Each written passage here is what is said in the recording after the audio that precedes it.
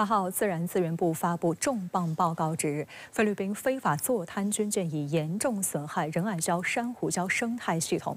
首都公开的仁爱礁西湖景色影像也显示，该舰周边海域已出现鹿角珊瑚死亡现象，水下还散布废弃渔网、鱼线及各类垃圾。那么，中方还掌握了哪些实锤证据？为何此时发布该该报告？来看报道。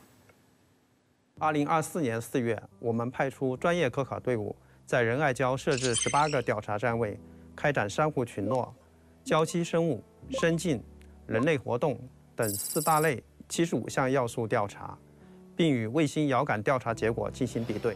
八号下午，自然资源部发布仁爱礁非法坐滩军舰破坏珊瑚礁生态系统调查报告，首次全面系统评估了仁爱礁珊瑚礁生态系统状况，并深入分析了仁爱礁珊瑚礁生态系统退化原因。报告显示，菲律宾非法坐滩军舰周边仁爱礁礁坪和西湖泊区域造礁石珊瑚覆盖面积下降明显。军舰附近存在大量珊瑚礁碎块和死亡的珊瑚，大型底栖无脊椎动物种群结构严重失衡。此外，礁区海水中重金属、油类、活性磷酸盐含量明显高于历史记录，在礁区散布有渔网等各类人为弃置物。军舰在坐滩过程中对礁旁产生剧烈撞击、切割和摩擦，致使船舶搁浅轨迹区内珊瑚礁。和大型底栖生物遭到毁灭性破坏，形成的大量珊瑚碎块在船体周边堆积。一般来说，导致珊瑚礁生态系统受损的主要原因有气候变化、台风破坏、敌害生物和人类活动。然而，一九九九年以来，仁爱礁海域没有破坏性台风和大规模的珊瑚白化，现场也未发现敌害生物爆发的痕迹。因此，马德雷山号就是造成破坏的罪魁祸首。马德雷山号系美军在二战期间建造，在太平洋战争、越南战争等战场活动后，于越战结束时移交菲律宾。有海洋问题专家指出，这种二战期间建造、冷战时期不断维护的舰船，在喷涂船漆、控制排污等方面还处在非常早期和落后的阶段，几乎没有考虑环保要求。只有菲律宾将非法坐滩军舰清走、清除污染源，才能避免继续对仁爱礁珊瑚礁生态系统造成。持续性和累积性危害。此次报告调查结果公布之后的话呢，我们也相信国际社会能够更加清楚的这个认识到菲律宾在仁爱礁地区的这样的一种行动造成的这种破坏和负面的这种影响。那么，这个菲方的这种在下一阶段采取的更多的这种挑衅行动，也势必会遭到国际舆论更多的这种批评和指责。面对确凿证据，菲律宾方面却死鸭子嘴硬，甚至倒打一耙，将脏水泼向中国。菲律宾南海特别行动组九号发表声明称，要对南海珊瑚礁被破坏的原因进行独立的第三方海洋科学评估。菲律宾海军发言人特利尼达也曾表示，无论中方说什么，菲律宾都会对马德雷山号进行必要的维修工作。从上世纪九十年代，这个菲律宾的这个。坐滩军舰呢开始闯入这个仁爱礁海域以来的话呢，这个菲律宾近些年呢也不不停的通过这种所谓加固整个这个呃这个军舰的方式呢，企图造成这种既定事实，那么企图强占整个这个仁爱礁。那么中方呢也一直通过各种的渠道呢与菲方保持密切的磋商和沟通，同时针对这个菲方的挑衅行为呢，开展有理有利有节的这样的反制的这种行动。外界注意到，菲方的抵赖苍白无力。九号，中方连续发布多段视频，有图有真相的例证，对南海海洋环境造成不可估量破坏的是菲律宾。环球时报首度公开近日在现场拍摄的仁爱礁西湖景色影像，画面显示，在仁爱礁西湖内，远离非非法坐滩军舰的区域则海水清澈，海底生态环境良好。然而，非非法坐滩军舰周边海域已经出现了鹿角珊瑚死亡的现象。当天稍晚，人民日报客户端也公布了一段一分半的现场视频。画面可见，中方调查仁爱礁珊瑚礁生态系统时，遭到菲方两艘橡皮艇近距离干扰，不仅始终在周围游弋，还伺机做出危险驾驶等行为，企图迫使中方停止作业。哎，注意注意注意，往后倒，往后倒。见无机可乘，菲方又采取水下探视方式监视中方作业。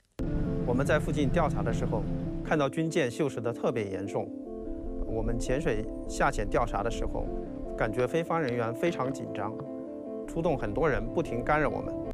值得注意的是，中菲双方上周在马尼拉召开双边会议，同意缓和南海紧张局势，但菲律宾方面仍没有停止挑衅行动。观察指出，中方在这个时间点发布生态报告，就是为了回击菲律宾对中国在仁爱礁行动的抹黑。啊，很明确的就是它严重破坏了南海地区的这个和平与稳定的这个态势。那么这也使得整个中菲关系呢，近些年来出现了这个急转直下的这个势头。那么另外一方面的话，我们也看到，当前的这个南海地区的这个海域的这种生态环境的保护呢，是当前这个域内这个国家都需要共同承担的责任和面临的一个重大的一个义务。那么其实在这个领域的话呢，各方还是有更多的这种合作空间的。那么在这样的一个情况之下呢，菲方应该尽力尽早的回到这个谈判对话的轨道上来，那么尽早的这个。推动整个这个中非之间关系呢止跌企稳。面对民主党内部与日俱增的换人参选压力，美国总统拜登重申绝不退选。但雪上加霜的是，一名治疗帕金森症的顶级专家被曝八度进入白宫与拜登的私人医生会面，这加剧了外界对拜登健康状况的质疑。拜登当地时间八号致信国会民主党领袖说，他不会退出大选，党内分化的闹剧应该结束了，并呼吁民主党人团结起来击败特朗普。在美媒一档早间新闻中，拜登直言，民主党内认为他应该退选的人，可以在下个月的民主党全国代表大会上挑战他的参选资格。I'm getting so frustrated by the elites, but any of these guys don't think I should run against me. Go announce announce the president, challenge me at the convention. 因拜登在与特朗普首轮电视辩论中表现糟糕，美国已有五名民主党议员公开要求拜登退选。美媒称，众议院内正流传一封要求拜登退选的联署信。尽管换掉拜登的声音不绝于耳，但可操作性非常低。美国智库布鲁金斯学会高级研究员、民主党全国委员会成员卡马克表示，其实民主党没有 B 计划，因为拜登在今年竞选党内总统候选人提名时几乎没有对手。路透社公布的一项最新民调显示，即使拜登不参选，其他民主党人也不见得比他好。唯一能在民调中战胜特朗普的民主党人，只有美国前第一夫人米歇尔·奥巴马。此外，和特朗普差距最小的是副总统哈里斯，仅落后特朗普一个百分点。目前民调结果也显示，百分之八十一的民主党选民对哈里斯持正面看法，超过拜登的百分之七十八。不过，在民调中能够和特朗普交锋的民主党潜在候选人。还没有一个宣布参选。拜登其实是代表着一个比较统合的一个民主党的一个主流的一个人物。现在目前党内其实看不到，民主党内是看不到，呃，第二个能够像拜登能够既拉拢到民主党左翼选民，又能中又能把中间选民给。呃，拉拢的一个候选人。拜登是否身体健康是美国这次总统选举最为关注的焦点。美媒爆料称，白宫的访客记录显示，华盛顿一位顶级的神经科医生在白宫与拜登的私人医生进行了会面，而这名专家自去年以来已是八度进入白宫，这也让正处在退选热议中的拜登又遭受重大舆论打击。对于拜登是否正接受帕金森症治疗，白宫新闻秘书予以否认，甚至与记者爆发激烈争论。Times, or at least once, in regards to I the just- president wait. specifically. Hold on a Not second. what you should be able to answer by this point. Wait, no, no, no, no, no, Everybody's no. about it. No, wait a minute. Come, Ed, please. A little respect here, please. So every year, around the, f- the president's physical examination, he sees a neurologist. That's three times, right? So I am telling you that he has seen a neurologist three times while he has been in this presidency. Is the president being treated for Parkinson's? No. Is he being treated for Parkinson's? No, he's not. Is he taking medication for Parkinson's? No. So those are the things that I can give you full-blown answers on. 此前，外界还曾怀疑拜登可能患有阿尔兹海默症，但也遭到白宫否认。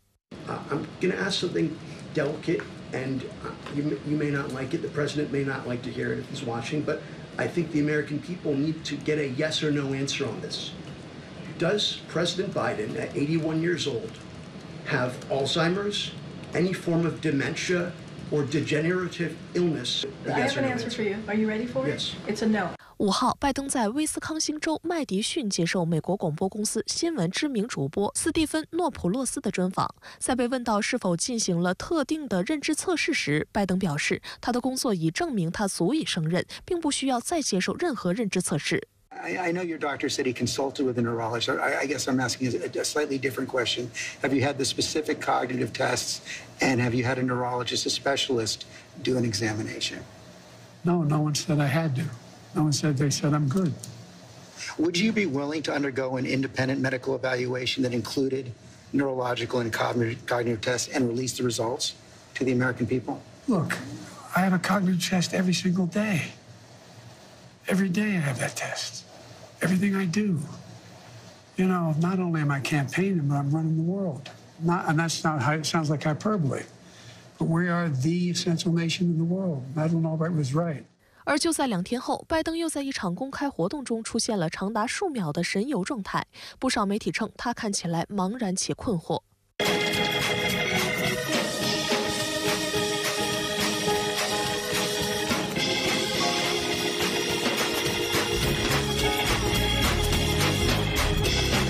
随后，在发言时，拜登又再次发生口齿不清、发言逻辑混乱的状况。在主持人要求大家集体起立时，拜登不仅没有立即起身，还面带困惑，并四处张望。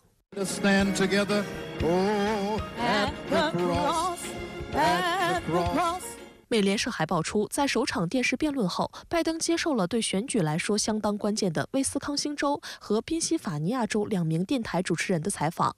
当时有舆论形容拜登表现上佳，然而两名主持人最新爆料称，拜登的竞选团队提前准备了问题。妹妹称，这或许意味着拜登的团队对其真实的认知能力心知肚明。即便如此，拜登仍强调自己有能力继续工作。八十一岁的他不太老。Folks. I know with every fiber of my being, I know I'm going to look like I'm 40 years old, but I've been around a little bit. well, all kidding aside, you know, I've been doing this a long time.